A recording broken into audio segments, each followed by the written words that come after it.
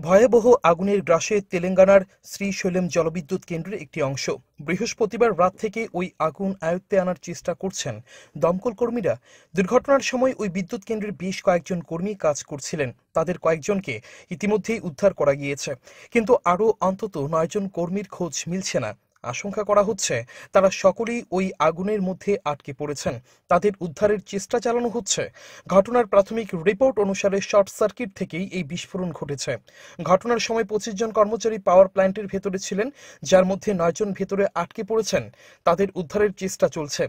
তাদের বাইরে আনার চেষ্টা চালাচ্ছেন এনডিআরএফ কর্মীরা। তাদের সাহায্য করছেন কুর্নুল জেলার আত্মাকুর স্টেশনের দমকল কর্মীরা। ওই বিদ্যুৎ কেন্দ্রটি অন্ধ্রপ্রদেশের সীমানাবর্তী এলাকায় অবস্থিত। এই বিস্ফোরণের পরেই ঘটনাস্থল ভারী ধোঁয়ায় ঢেকে যায়।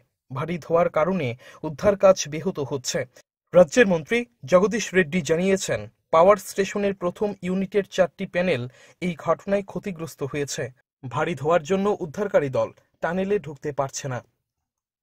রিপোর্ট, চ্যানেল রাত।